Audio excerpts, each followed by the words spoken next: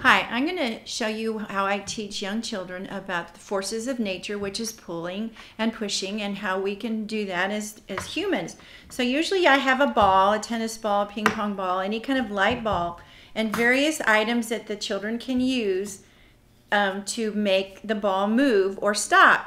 And you don't want to tell them very much, you just want them to experiment. So, I have some string, a rubber band, tape, a stick, pencil, and a ruler and the children remembering that they don't have any idea on that they can make something move or stop things and you just kind of demonstrate how the how the string can make the ball move and then they get it going and they realize that they have to stop it. You can do it with tape the kids just put tape on it.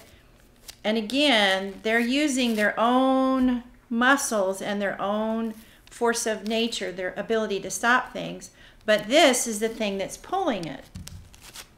And another fun thing, of course, is when they start experimenting with two instruments, two things like this, and see how part of it is that the object that's stopping it, and part of it is that they are pushing it. So it's that whole concept of pushing and pull, and how much force and strength that they need, and how much that the items help it stop or move. And that's how I teach children about the forces of pushing and pulling.